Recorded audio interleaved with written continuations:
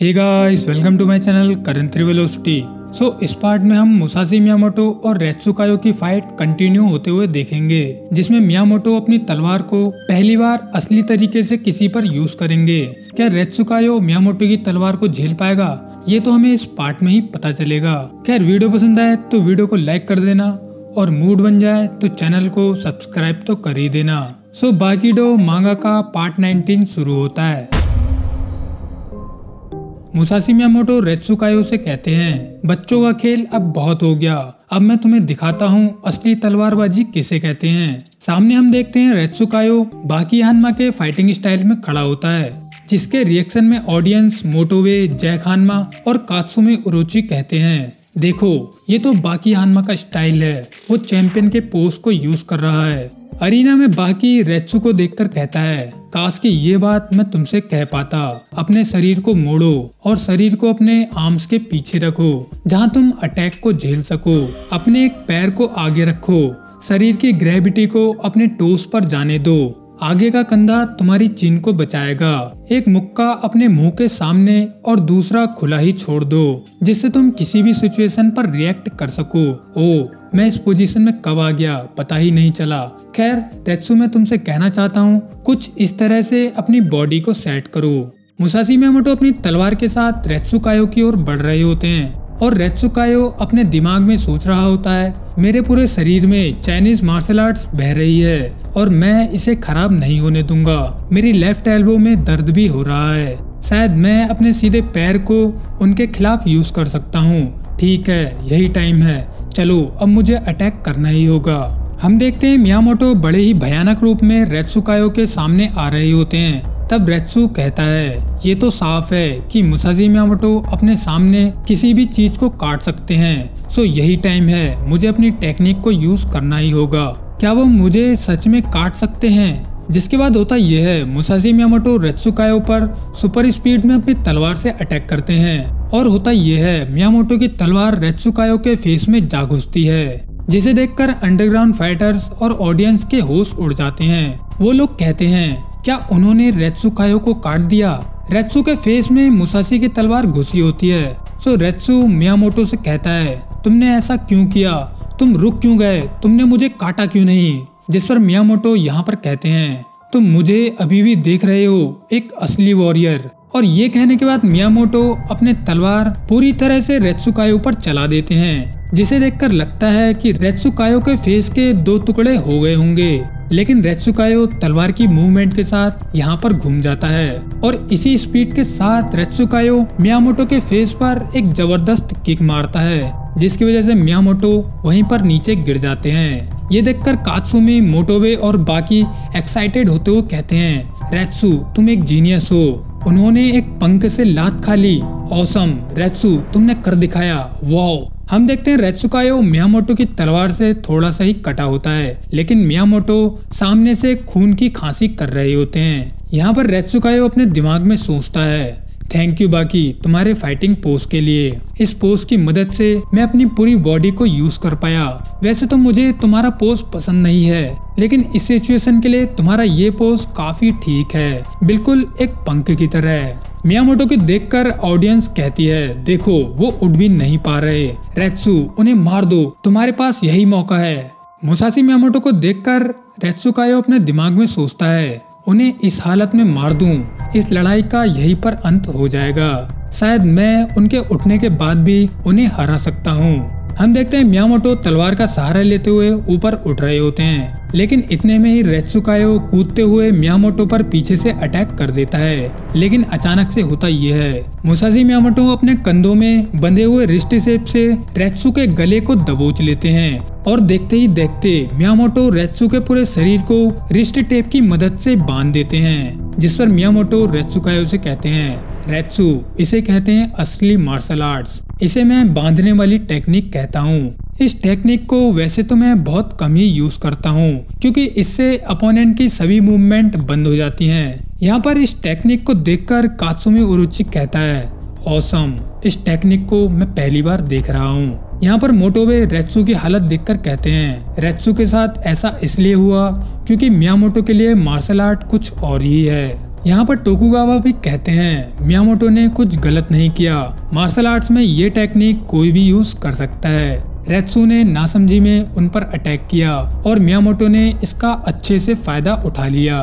काकुकायो, जिन्होंने रेत्सुकायो को ट्रेनिंग कराई होती है, वो भी यहाँ पर कहते हैं, ये लड़ाई यहीं पर खत्म हो चुकी है। न ही उन्होंने काटा, न ही उन्होंने रेत्सु को हराया, लेकिन रेत्सु की सभी मूवमेंट को बंद कर दिया। रेत्सु, तुम्हारे साथ बुरा हुआ। ज़मीन पर लाचार बना हुआ रेत्सुकायो मियामोटो से चिल्लाते हुए कहता है, मियामोटो, तुम रुक चुके गए? मुझे काट दो। जिस पर मियामोटो कहते हैं रेत्सु रोना बंद करो। तुम मुझे मेरी मर्ज़ी से काटने भी देना नहीं चाहते। तुमने मुझे बार बार मारा। मेरी नाक के अंदर की हड्डी भी तोड़ दी। बस यही वजह थी। इसीलिए तुम नीचे बंधे हुए पड़े हो। हम देखते हैं यहाँ पर मियामोटो अरीना वाली तलवार को ज़मीन में गाड़ देते हैं। जिसके बाद अपनी ओरिजिनल तलवार से वो उस अरीना वाली तलवार को ऐसे काट देते हैं, जैसे कि वो कोई लकड़ी की बनी हुई तलवार हो। मियामोटो रेत्सुकायो से कहते हैं, क्या अब भी तुम मुझसे कटना चाहते हो? जिसके रिएक्शन में बाकी और ऑडियंस कहती है, वो सीरियस हो चुके हैं। मियामोटो, ऐसा मत करिए, उसे मत काटो।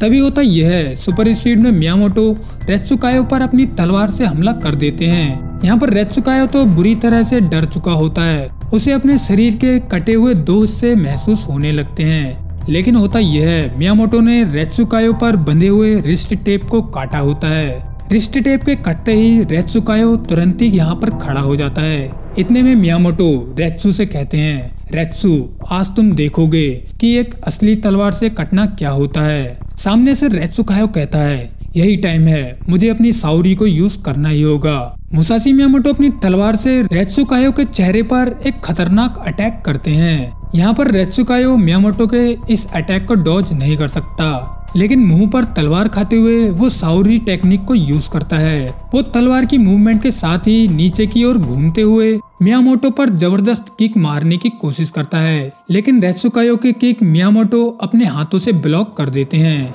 यहाँ पर हम देखते हैं मियामोटो ने रेसुकायो के नकली पैर को सिर्फ़ अपने खाली हाथ से ही काट दिया होता है। जिसके बाद होता यह है, मियामोटो अपनी तलवार को वापस कवर में रख लेते हैं। यहाँ पर हम देखते हैं रेत्सुकायो को, जिसके चेहरे पर हमें कट दिखाई देता है। बिल्कुल चेहरे के बीचों बीच और रेत्सुकायो हैरान हुआ सीधा खड़ा होता है। रेत्सु को देखकर काकुकायो कहते हैं, मैं समझ गया।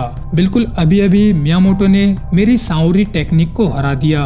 हम देखते हैं रेत्सुकायो हैरान होकर खड़ा होता है। तभी उसके चेहरे के बीचों बीच से खून ही खून बहने लगता है। जिस पर रेत्सु मियामोटो से कहता है, जैसा जैसा तुमने कहा था, तुमने मुझे काट दिया। जिस पर मियामोटो कहते हैं, उस बात की चिंता मत करो, लेकिन अभी भी तुम बात कैसे कर रहे हो? मैंने तो तुम्हें जान से मारने की कोशिश की थी। जिस पर रेत्सुकायो हैरान होते हुए कहता है मतलब साउरी ने काम कर दिया। तुमने मुझे मारने की कोशिश की, पर मैं मरा नहीं। चलो, एक बार और ट्राई करते हैं। मैं एक बार और साउरी को ट्राई करना चाहता हूँ। जिसके बाद हम देखते हैं, उठते हुए रेत्सुकायो रेडी टू गो पोजीशन में आ जाता है। बिल्कुल मियामोटो पर हमला करने के लिए तैयार, रेत्सुकायो ने जिस तरह का पोज बनाया है, इससे आप क्लियरली समझ सकते हैं, वो हमला करने के लिए तैयार है। रेत्सु यहाँ पर आगे क्या करने वाला है? वो इस बात को यहाँ पर बिल्कुल भी छुपाना नहीं चाहता। रेत्सुकायो बिल्कुल पिकल की तरह मुसासी मियामोटो पर हमला कर देता है। जिसके रिएक्शन में मियामोटो रेत्सु के ऊपर अपनी तलवार से हमला करते हैं। लेकिन अपने फिस्ट में रेत्सु मियामोटो की तलवार को फंसा लेता है और वो अपने फिस्ट को बहुत ज़्यादा टाइट कर लेता है, जिससे मियामोटो की तलवार उसके हाथों से बाहर ना निकल पाए। लेकिन मियामोटो अपनी तलवार को बाहर निकालने के लिए रेत्सुकायो को हवा में ही घुमाकर फेंक देते हैं। टेत्सुकायो जब ज़मीन पर लैंड हो रहा होता है, उसी समय मियामोटो अपनी तलवार से एक खतरनाक स्लैश रेत्सु की कमर पर कर देते हैं और मियामोटो की तलवार रेत्सु की कमर को काटते हुए आर पार हो जाती है। जिसके बाद रेत्सुकायो के चेहरे से तो पहले से ही खून बह रहा होता है, लेकिन अब उसकी कमर के कटने के बाद वहाँ से भी तेज़ी से खून बहने लगता है और यहाँ पर रेत्सुकायो अपने एक पैर पर नंब पोजीशन में खड़ा रहता है। उसके चेहरे से सभी तरह के एक्सप्रेशन भी गायब होने लगते हैं। रेत्सु की इस हालत को देखकर ऑडियंस में अजीब सी शांति छा जाती है और वो कहते हैं, उन्हें सच में उसे काट दिया। ये हम क्या देख रहे हैं? रेत्सु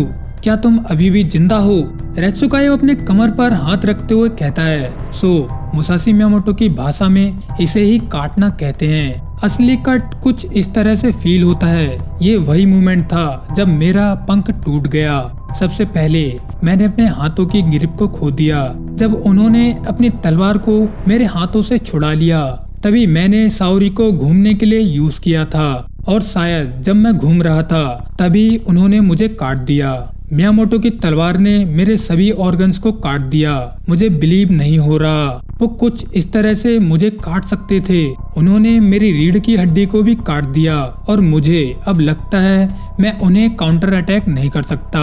मेरा पैरों पर खड़ा हो पाना एक सपने जैसा लग रहा है। लेकिन अगली बार उन्हें मैं कोई भी मौका नहीं दूँगा। यहाँ पर रेत्सुकायो मुँह के बल ज़मीन पर गिर गया होता है और वो पूरी तरह से खून में लथपथ भी होता है। और धीरे धीरे रेत्सुकायो यहाँ पर मर रहा होता है, जिसे देखकर टोकुगावा चिल्लाते हुए कहते हैं, मैच ओवर, ये मैच यहीं पर खत्म हुआ। जिसके बाद हम देखते हैं मुसासी मियामोटो सटाक से अपनी तलवार कवर में रख लेते हैं। देखने वाले सभी दर्शक मियामोटो को देखकर शांति से खड़े होते हैं। आप उनके थूक के निकलने की आवाज़ भी सुन सकते हैं, क्योंकि उन्होंने पहली बार किसी को इस तरह से जीतते हुए देखा है। क्योंकि वो लोग एक जीने मरने वाली लड़ाई का हिस्सा थे।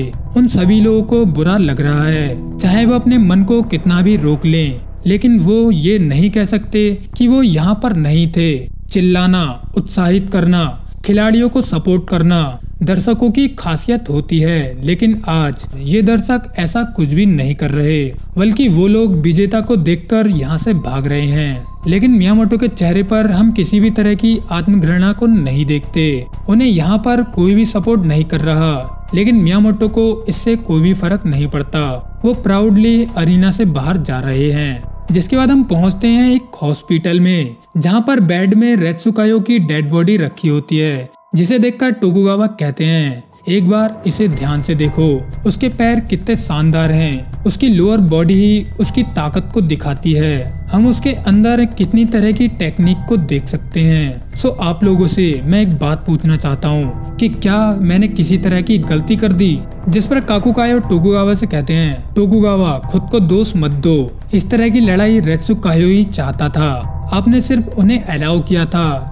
जबकि ये बात तो मुझे आपसे पूछनी चाहिए कि मैंने किसी तरह की गलती कर दी। वो मेरी टेक्निक की वजह से ही मारा गया। मेरी ही टेक्निक में कोई कमी थी, जिस पर यहाँ पर टोकुआवा कहते हैं। आप लोगों से बस मैं यही कहना चाहता हूँ, अगर टोकुआवा किसी तरह की गलती करता है तो उसका भुगतान भी मुझे ही करना होगा। खैर, यहीं पर बाकी डो मांगा का पार्ट 19 एंड जाता है। कमेंट्स में रेत्सुकायो की आत्मा को शांति मिले, लिखना मत भूलना। सो अब मिलते हैं बाकी डो मांगा के पार्ट ट्वेंटी में। So tata bye bye take care